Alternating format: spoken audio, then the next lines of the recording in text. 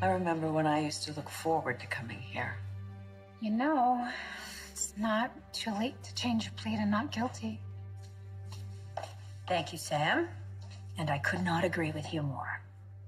Alexis, listen to the advice that you would give to any of your clients. The law makes allowances for mitigating circumstances. Use them. I know that you're both on my side. But I've made my decision.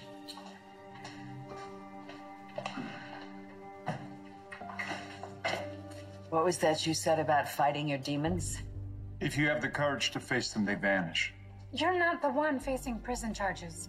Listen to your daughter, Alexis.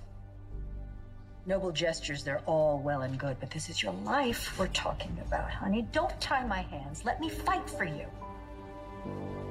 The irony is I could really use a drink right now. No, no, no, no. But you're not gonna have one. No, I'm not gonna have one. I am so proud of you.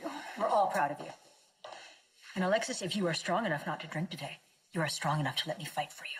I think it's entirely possible that strength and sobriety come from the same place. It takes guts to face the consequences of your actions. Why do you keep encouraging her to plead guilty and send herself to prison? I'm not. I'm here supporting Alexis. I want to see her recover from her addiction. How she chooses to own up to what she's done and make amends, that's entirely up to her. Making amends means pleading guilty, which means she will send herself straight to prison.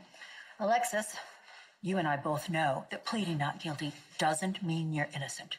It just means that you are using the judicial system the way it should be used. Just a little while ago, Marcus Taggart pleaded not guilty, and now he's out on bail, and his attorney is has time to, to mount his defense.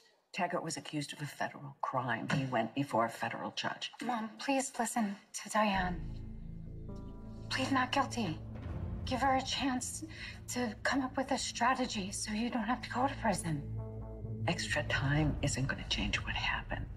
I was drunk and I was out of control and I plunged a syringe full of lidocaine into Dante's chest and I almost killed him. I need to face the consequences.